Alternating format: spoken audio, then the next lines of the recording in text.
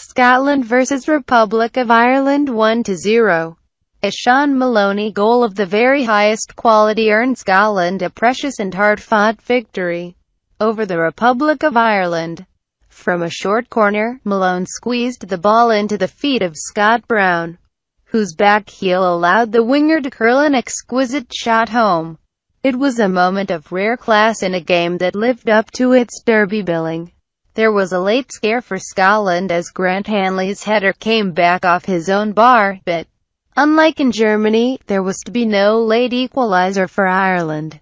The result draws Scotland level with their opponents on seven points after four games in Group D, with both Poland and Germany winning handsomely. Dropped points would have meant Scotland slipping further off the pace, as it is. Both countries trail the pace-setting Poles by three points but retain strong hopes of automatic qualification for Euro 2016. Former Celtic manager Martin O'Neill had spoken of his belief that his Irish side could win on his return to Celtic Park. Instead, it was his successor at the club, Gordon Strachan, who enjoyed the happier homecoming.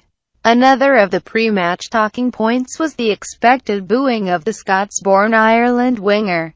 Aiden McGeady and his reception was suitably hostile. He was treated by the home fans as the pantomime villain.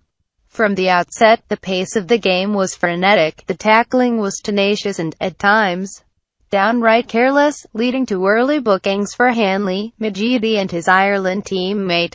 Jeff Hendrick, the passion on show almost made up for the dearth of football, with precious few chances created in the opening half hour. Jon Walters and Darren Gibson did force David Marshall into saves, but there was little to worry either goalkeeper.